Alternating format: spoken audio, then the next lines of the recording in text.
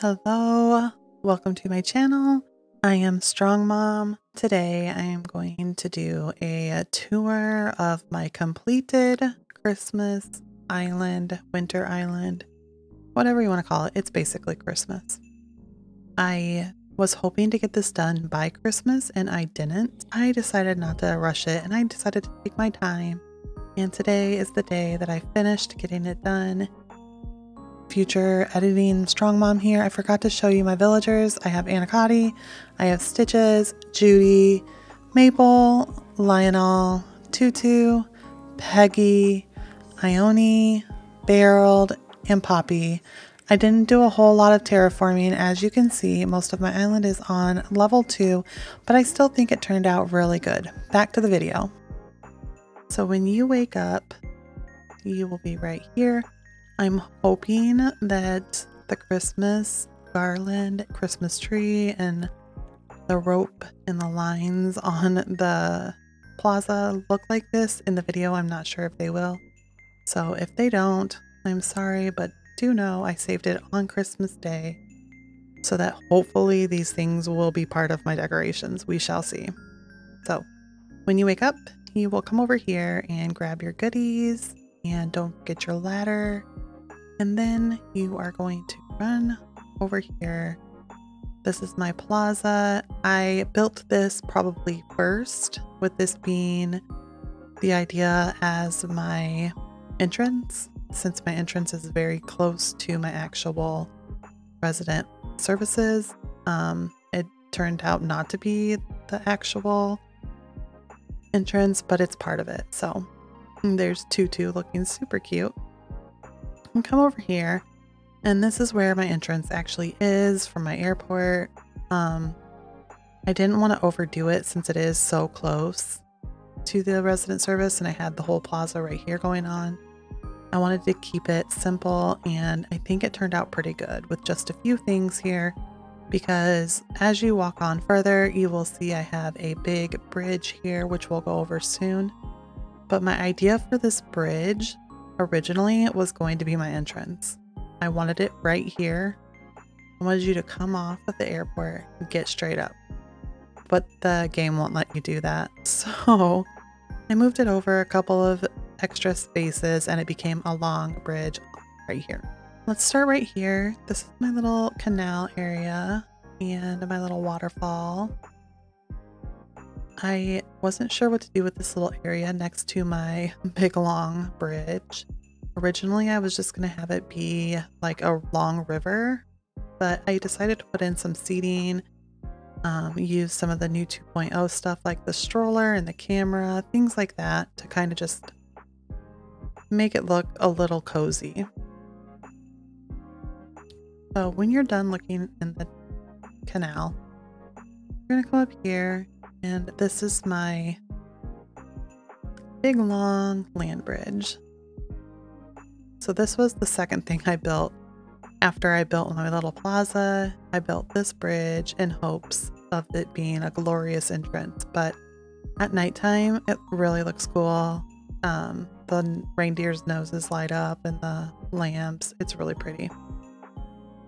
So then if you go on up here, you will see a cutoff here and honestly, this is for absolutely nothing except for the waterfall effect below. So it is what it is. it's just there.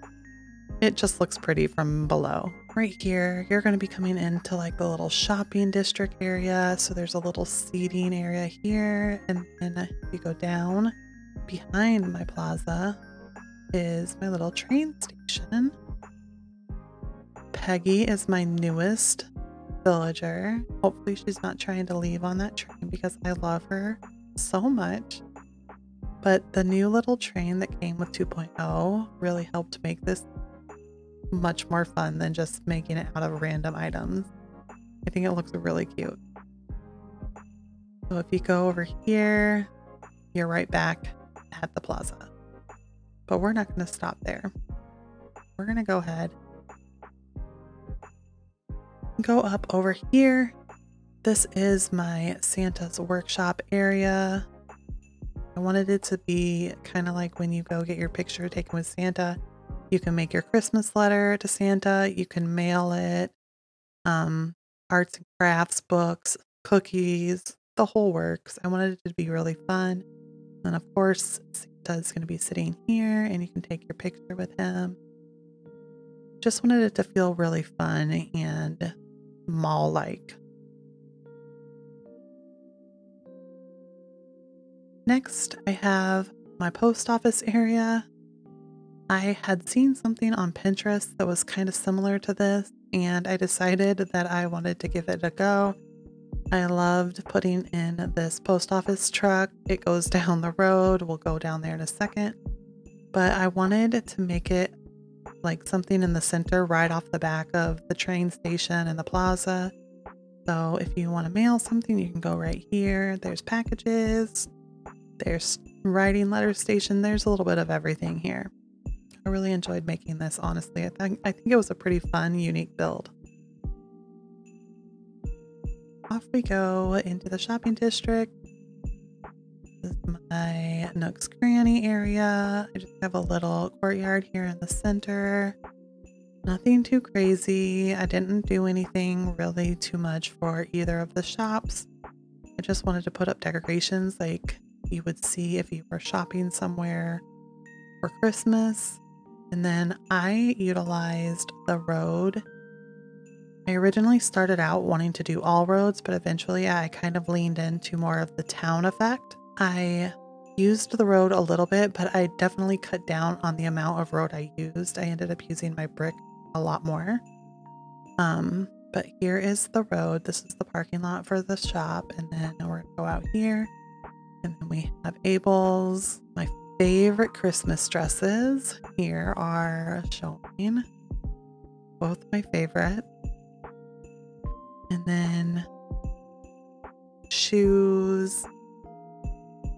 Got the whole works. So if you go around and come into here, this is my first little neighborhood. It is matchy matchy. I wanted to do houses that all look the same. I wanted to be that kind of neighborhood.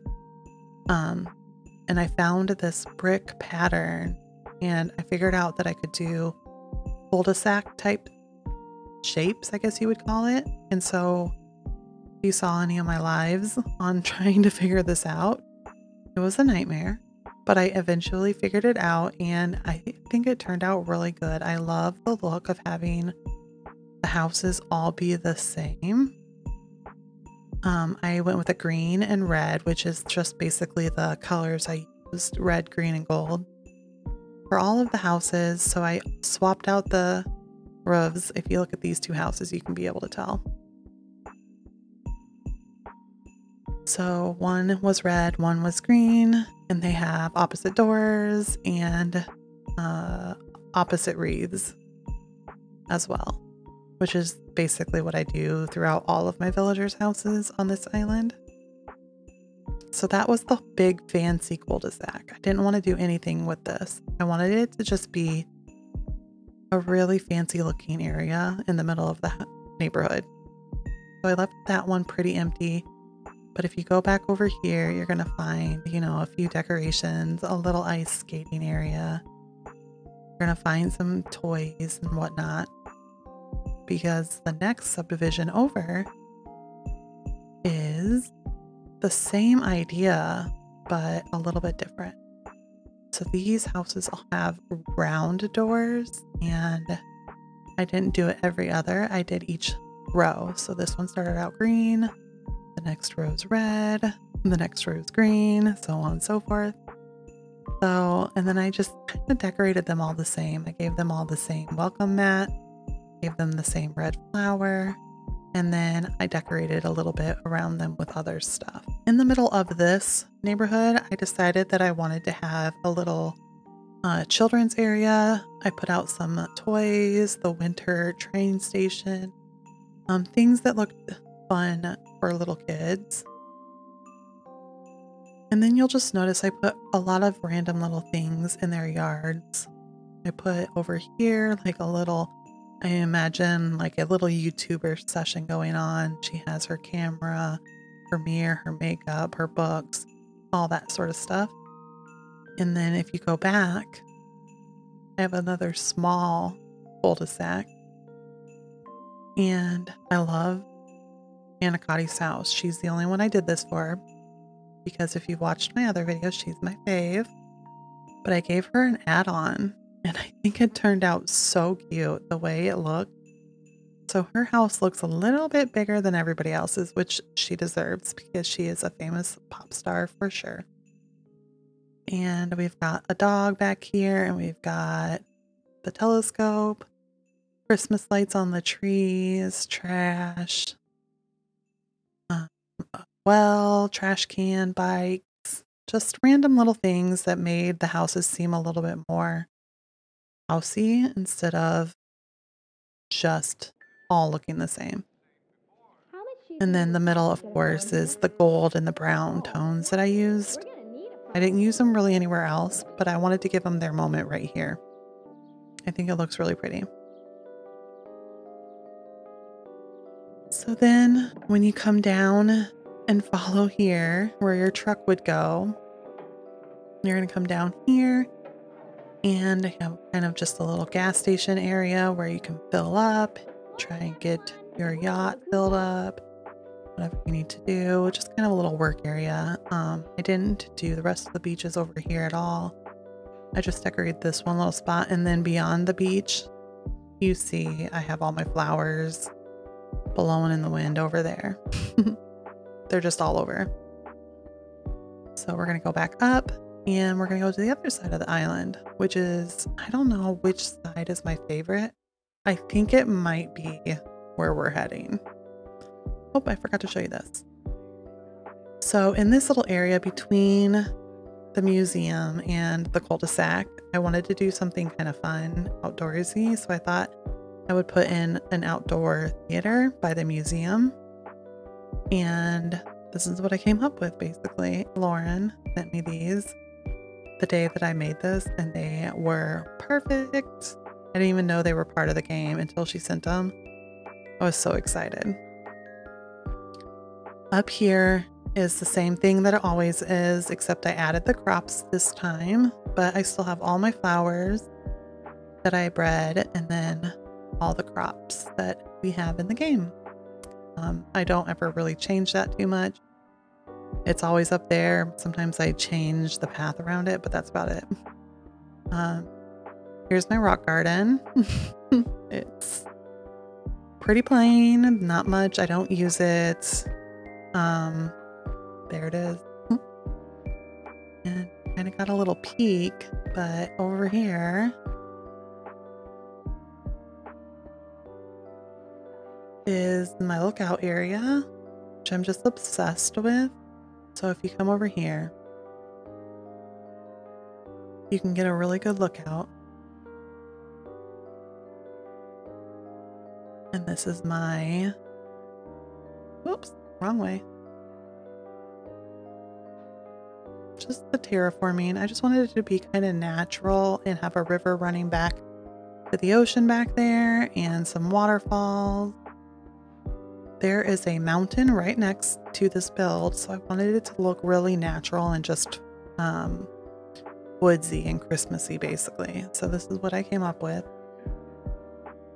And before we go up there, I'm going to take you over here to give you a sneak peek of my mountain. So if you come up here, get your camera out, you will see my mountain. I have ski lifts and I have mountain tops and I have trees and lights and snowplow or not snowplow, snow pile and just a lot of fun things on this mountain. It was definitely one of the harder things that I've done in Animal Crossing, but it turned out really good. I have my sledding um, hill. I love it. I am so proud of this. Was probably the first major thing that I built. And I put it back in the back corner because I wasn't sure if I was going to like it, to be honest, or if I could even do it. And now I regret having it way back here, but it is what it is. So you come over here, you can just kind of look out the ocean, run back over here, and we'll go back and look at it a little bit closer. like he's just following us around. So down here, I have like the ski lodge type going on. You get games, pizza, hot chocolate, skis, snowmen, and you can come over here and get on these lifts. So, fun fact I was challenged by my chat one night to make the ski lifts on these brand new light poles that we had just gotten, and I had no idea how to make a design.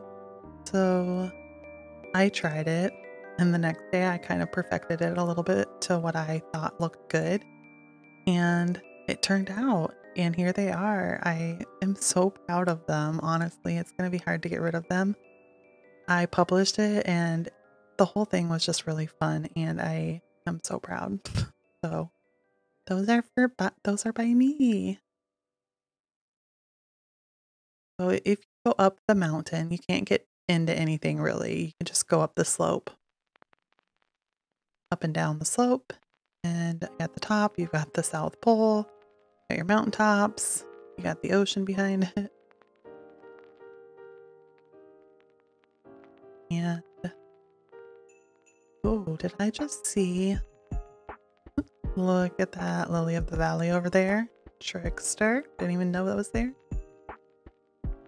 I don't think I'm a five star right now. I think I saved it and I was a four star. The challenge with this was trying to find things that would give the mountain height. And I did a video or two on this, but um, ended up using some random things to find to make the height. But that's the mountain. Very proud of it.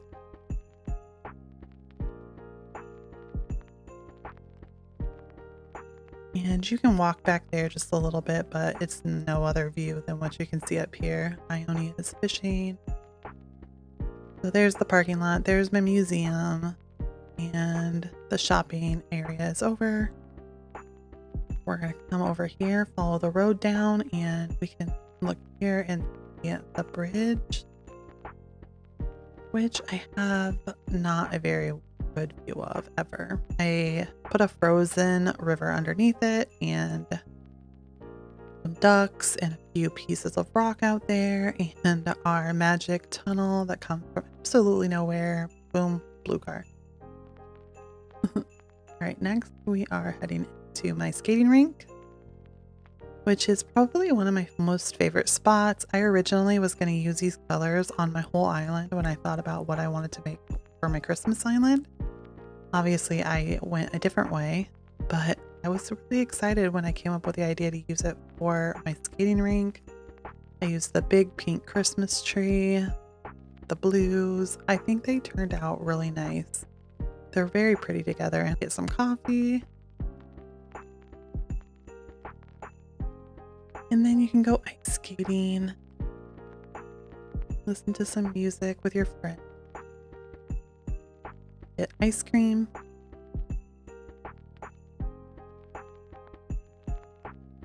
And then you go down here and come into our campsite. The campsite is basically an area that is pretty cozy feeling. We have uh, dog, snow, and then I have a few fish things on the beach here, nothing major, just a little bit of camping stuff for the people that are camping. The blankets make it feel really cozy and warm. Then up here, some tents. Some more tents over here. Our very own Pee Wee did this amazing rock pattern around the bonfire that just makes your bonfire seem so much better when you put it under it. If you guys are ever interested in any of the design codes that I use, I put them all on my Pinterest. The information's in the description box below. This is on there as well. It's an amazing design. Then I have a little play area for the kids here at the uh, camp out and then come down here and you're gonna find the tree farm. We have baby trees, decorated trees, cut down trees. Got all the different trees here. The farm. Then I have another little sitting area for a little fancy area. I don't know what you would call these things, but this was my first castle type build. I wanted to build a building. And you probably saw my video on this the other day, but this is how it turned out. I think it turned out really good, honestly. It's different. It looks, um, it stands out on my island. And then I put a little fancy dinner here. Just felt like this would be like the rich area. Fancy dinnerware, fancy guards, gold, just all the fancy stuff, right? The castle. it's fancy. And then I just did something I felt like I wanted to do a little bit something different in this area. And so I just threw out some, I love the way that the glowing moss looks on the sand. I think it looks really cool. So I threw those on.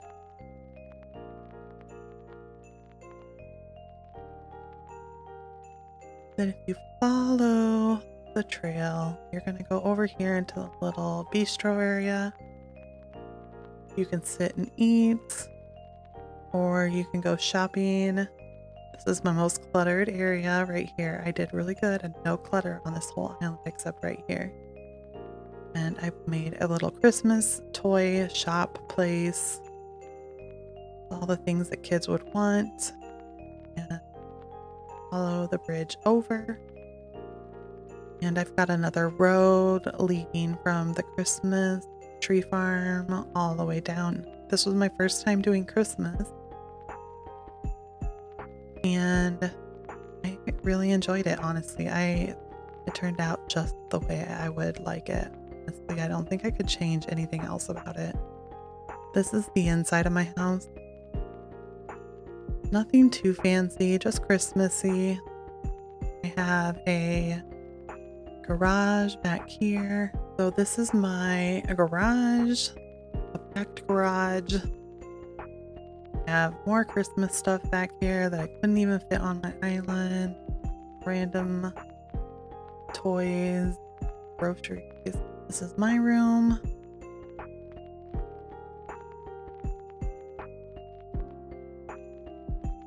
Just a plain old kitchen, nothing major. Coffee, food. And then upstairs, I don't really have anything. And downstairs, just my gyroids. And that is my complete winter Christmas island. Hope you guys liked it.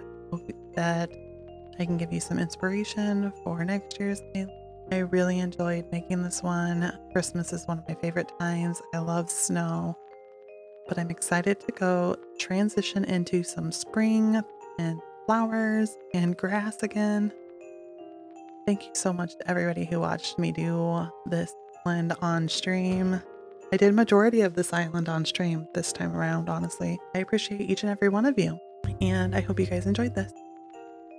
As always, thank you for watching. I will see you in the next video. Bye.